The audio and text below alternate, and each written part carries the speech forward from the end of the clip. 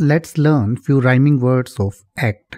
Few rhyming words for act are attract, attract, abstract, A B S T R A C T, abstract, contract, C O N T R A C T, contract, distract, D I S T R A C T, distract, exact, E X A C T, exact, intact, I N T A C T, intact, react, R E A C T, react, subtract, S U B T R A C T, subtract, tract, T R A C T, tract, fact, F A C T, fact.